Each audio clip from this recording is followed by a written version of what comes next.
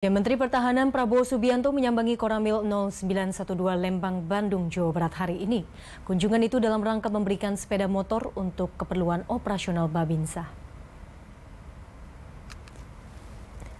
Seperti diketahui, pemerintah akan memberikan 80 ribu unit sepeda motor untuk operasional Babinsa di seluruh Indonesia. Prabowo sendiri telah menyerahkan 25 unit sepeda motor ke Koramil 0912 dan Kodim 0609 Lembang, Bandung, Jawa Barat.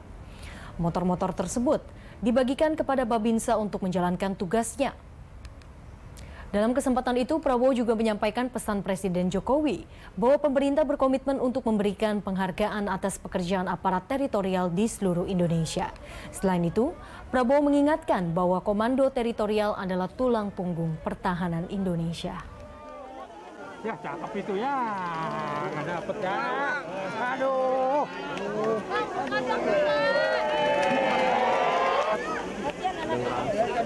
Motor kalau hari kalau nggak salah hari ini baru 25, tapi semuanya akan kita bagikan seluruh Indonesia. Ya.